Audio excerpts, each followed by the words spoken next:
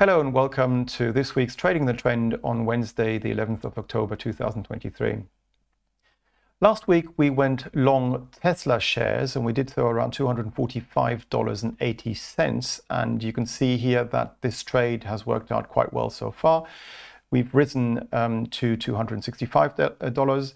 So what you can now do is move your um, top stop loss level uh, either to break even or I would just move it to below the last reaction low. That's to say a low which is lower than the candle to its left and to its right. And that was made on the 6th of October.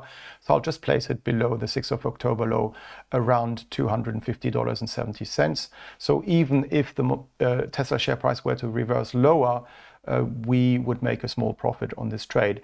And otherwise, I would just let it run because it could well head all the way back up again towards the highs seen back in July around $300 mark.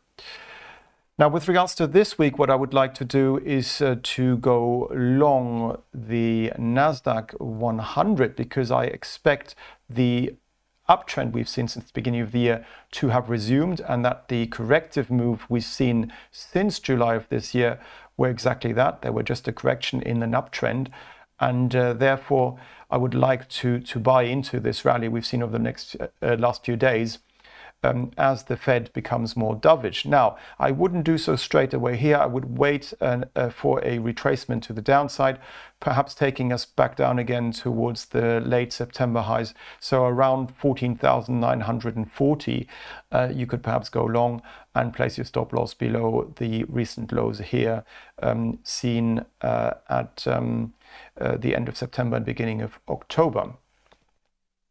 So this week's uh, trade of the week is to go long the Nasdaq 100 on a retracement lower though towards 14,940 or 30 or so, with a stop loss at 14,430 and an upside target around the 16,000 mark.